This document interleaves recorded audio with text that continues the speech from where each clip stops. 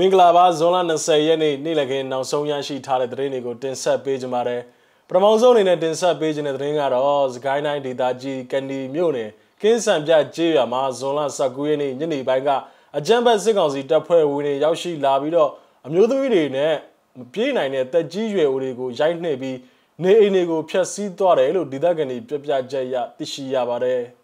ဇွန်လ19ရက်နေ့ညနေပိုင်းကအကြမ်းဖက်စစ်တပ်ရဲ့တပ်ဖွဲ့ဝင်တွေဝင်ရောက်ပြီးတော့ပြည်သူပိုင်ပစ္စည်းတွေကိုဖျက်ဆီးပြီးရွာထဲမှာရှိတဲ့အမျိုးသမီးတွေကိုရိုက်နှက်ခဲ့တယ်လို့မျိုးသားနှစ်ဦးကိုလည်းဓာတ်နဲ့မှုန်းသွားတယ်လို့ဒေသခံတဦးကဆိုပါတယ်အကြမ်းဖက်စစ်ကောင်စီကအမျိုးသမီးများနဲ့မပြေးနိုင်တဲ့တက်ကြီးရွယ်ဦးများကိုရိုက်နှက်နှိပ်စက်ကာအမျိုးသားများကိုတေလူမျောပါရိုက်နှက်ပြီးဓာတ်ဖြစ်မှုန်းသွားခဲ့တယ်လို့ဒေသခံတွေကဆိုပါတယ်ချင်းတွင်း Medical Network အနေဖြင့်အဆိုပါထိခိုက်ဒဏ်ရာရရှိတဲ့ပြည်သူတွေကို လိုအပ်တဲ့ခွဲစိတ်ကုသမှုများပေးခဲ့တာပါကင်းစံမြကျေးရွာနှိပ်စက်ခံရမှုမှာအဖိုးဖွား9ဦးအမျိုးသမီး2ဦးအမျိုးသားကြီး2ဦးနဲ့လူငယ်9ဦးစုစုပေါင်း14ဦးဒဏ်ရာရရှိခဲ့တယ်လို့သိရှိရပါတယ်ဆက်လက်ပြီးတင်ဆက်ပေးခြင်းတဲ့သတင်းကတော့မော်လမြိုင်တက္ကသိုလ်မှာတက္ကသိုလ်တက်ရောက်နေတဲ့ကျောင်းသားကျောင်းသူ18ဦးကိုဗစ် -19 ရောဂါပိုးကုသခံရနေရတာကိုအတိမပေးပဲသတင်းအမှောင်ချထားတဲ့အပေါ်မှာ မော်လမြိုင်တက္ကသိုလ်ဆရာများတမကကပြင်းထန်စွာရှုတ်ချလိုက်ပါတယ်။မော်လမြိုင်တက္ကသိုလ်ကတာဝန်ရှိသူတွေရဲ့ပေါ်ဆမှုကြောင့် COVID-19 ရောဂါကူးစက်ပြန့်နှံ့မှုတိတိတသာတိုးတက်လာပြီးတော့စိုးရိမ်ဖွယ်ရာအခြေအနေကိုရောက်ရှိနေတယ်လို့မော်လမြိုင်တက္ကသိုလ်ဆရာများတမကကဇွန်လ19ရက်နေ့ရက်စွဲဖြင့်သတင်းထုတ်ပြန်ကြေညာခဲ့ပါတယ်။ထုတ်ပြန်ချက်မှာဆရာများတမကကအသေးစိတ်စောင့်ကြည့်နေကြောင်းနဲ့တက္ကသိုလ်အာဏာပိုင်တွေအနေနဲ့နာမည်ရရေးအတွက်အာဏာသိမ်းစစ်ကောင်စီလိုကြစံမွေးပွဲတွေကျင်းပဖို့ ဥတီနေတဲ့လောက်ရက်ကိုလည်းပြင်းထန်စွာရှုတ်ချကြောင်းသတင်းထုတ်ပြန်လိုက်တာပါ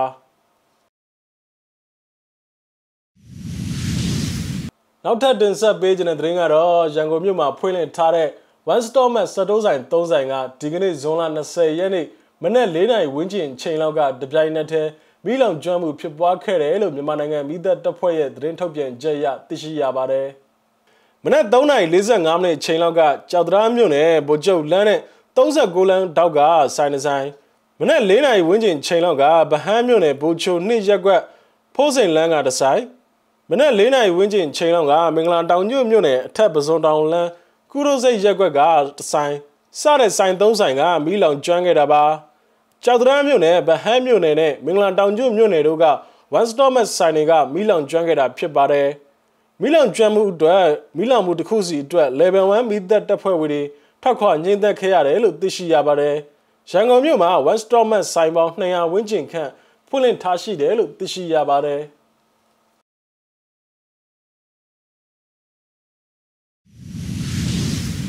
ထပ်မံတင်ဆက်ပေးခြင်းတဲ့သတင်းကတော့နိုင်ငံတော်ရဲ့တိုင်ပင်ခံပုဂ္ဂိုလ်ဒေါက်အောင်ဆန်းစုကြည်ရဲ့အသက်86နှစ်ပြည့်မွေးနေ့အထိမ်းအမှတ်အနေနဲ့နော်ဝေးနိုင်ငံအပြည်ပြည်ဆိုင်ရာဖွံ့ဖြိုးတိုးတက်ရေးဝန်ကြီးနဲ့ The Voice winner တို့မှာနော်ဝေးနိုင်ငံ အောင်ဆန်းစုကြည်ပန်းချံမှာဇွန်လ19ရက်နေ့ကအမတ်တရတပ်ပင်စိုက်ခဲ့တာပါတပ်ပင်စိုက်ပြုံးနေတဲ့ဗီဒီယိုဖိုင်ကိုကြည့်ရှုရအောင်ပါ Neglene sine. Ja. Det er bare å ta i jorda. Så ta bort da. Ja. Men altså for at du skal liksom stå og stråle inn og hva er det? Jo, og eh, ja? hovedtrikset er jo å ta av potta. Så har vi gjort det. Nå har han jo stått på kokke vann, da. Så det er jo helt etter boka. Så har han med seg litt ekstra. Og vi har en god lønning. Ja, du. Hvilken vei vil vi ha det? Du som eh, estetisk eh, har god peiling.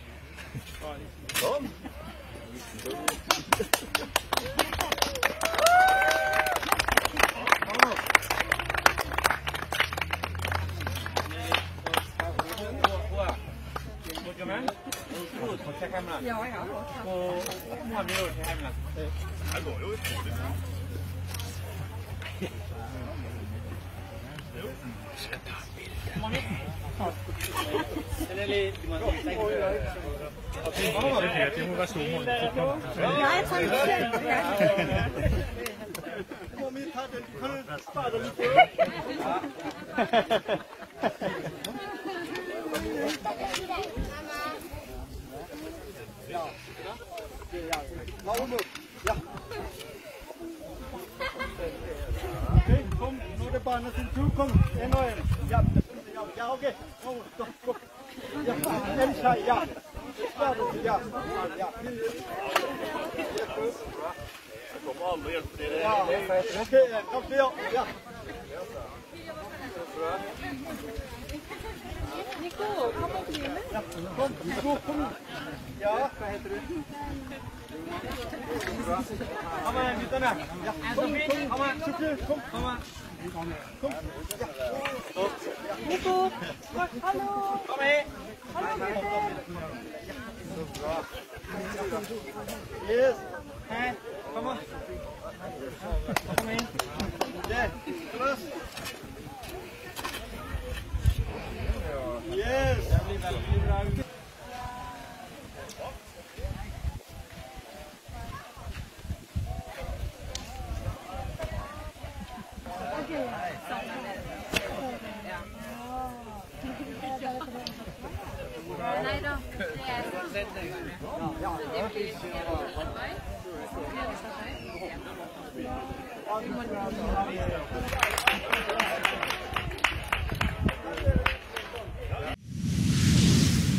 နောက်ဆုံးအနေနဲ့တင်ဆက်ပေးခြင်းတဲ့သတင်းကတော့အရှိတကုံကိုစားပြုတပိတ်စစ်ကြောင်းနဲ့မြောက်တကုံကိုစားပြုတပိတ်စစ်ကြောင်းတို့ပူးပေါင်းပြီးတော့ဒီကနေ့ဇွန်လ20ရက်နေ့နံနက်ပိုင်းချိန်လောက်ကစစ်အာဏာရှင်စန့်ကျင်ရေးအတွက်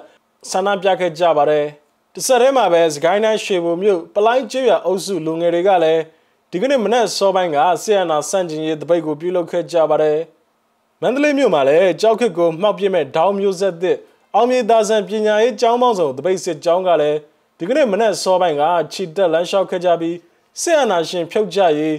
ကြွကြော်သားများဖြင့်ဆန္ဒပြခဲ့ကြတာပါဆန္ဒပြဗီဒီယိုဖိုင်ကိုကြည့်ရှုရအောင်ပါ Sana! Sana, sana!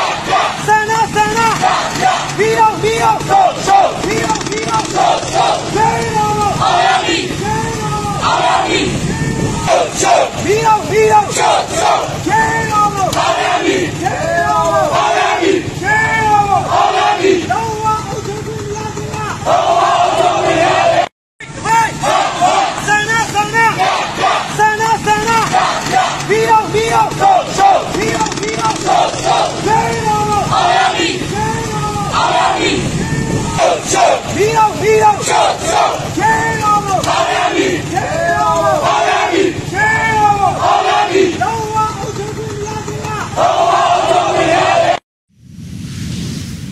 ဟုတ်ကဲ့ပါဇွန်လ20ရက်နေ့နေ့လည်ခင်းနောက်ဆုံးရရှိထားတဲ့သတင်းတွေကိုကျွန်တော်တို့မြစည်းမဝိုင်းတော်သားများကနေပြီးတော့တင်ဆက်ပေးခဲ့တာပါမြန်မာပြည်နဲ့မှာနေထိုင်တဲ့မိဘပြည်သူတွေအကုန်လုံးဘေးရန်နဲ့ကင်းရှင်းကြပါစေလို့ဆုမကောင်းတောင်းအပ်ပါတယ်နောက်ထပ်ရရှိလာမယ့်သတင်းတွေနဲ့အတူတူကျွန်တော်တို့ပြန်လာခဲ့ပါမယ်